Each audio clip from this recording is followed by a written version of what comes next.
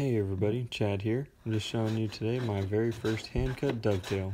We're starting off here with a piece of scrap soft maple that I had from some picture frames that you can actually see in the background.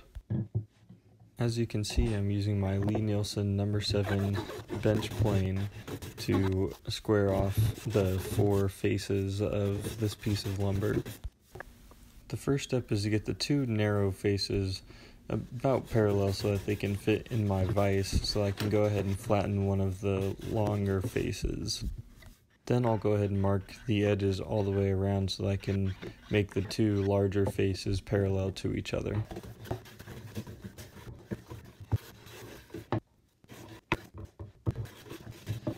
After that we'll square up the two side faces so that all four of the faces of the board are squared to one another. And now it's time to shoot the end grain. I'm using the same Lie-Nielsen number 7 bench plane as my shooting plane, and we're getting just that first face flat. Now we'll go ahead and cut off one board for the dovetail joint. Square off both the inside faces of that cut, and then cut off the ugly side of the second board. So now for the marking out of the actual dovetail joint. I'm marking about an eighth of an inch in from the edges of the board and then using the walk method with my dividers in order to get three tails on this first board. Then I mark the angles so I can actually see the lines when I'm cutting with my Lie-Nielsen tapered dovetail saw. And I start cutting. I cut all the same orientation cuts all at the same time. After that I cross cut the edges and then I come in with my fret saw. This wasn't working for me so well, so I quickly changed to my chisels to chisel out the waste. Using a fret saw is definitely the way to go for this operation, but the one that I was using just wasn't cutting it for me, and I think that I just had it set up wrong. Later in the video, you'll see that I got the Knew Concepts fret saw, which seems to be preferred by many professionals.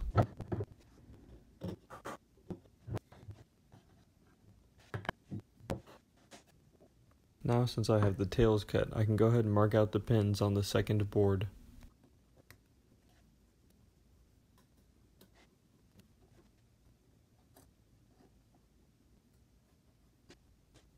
I saw out the waste on the pins board the same way I did on the tails board, cutting all of the same orientation all at the same time.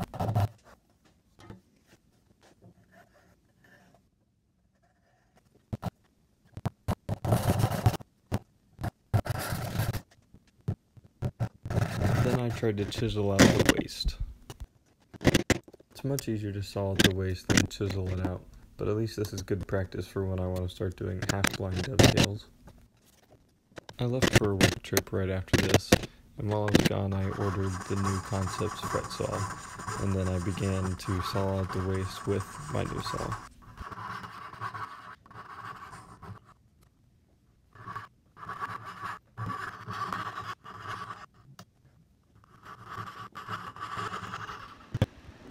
Then I need to chop, chop, chop, chop, chop, and pare, pare, pare, pare, pare.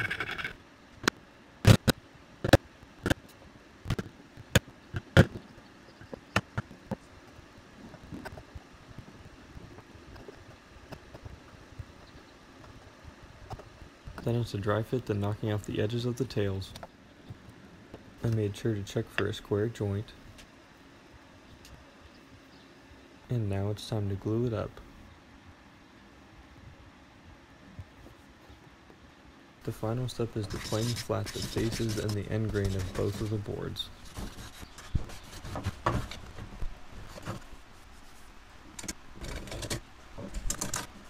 It may not look great, but hey, that's my first one. By the way, let me know what you think of this video. It's also my first one. You're welcome to subscribe and stuff. Thanks for watching.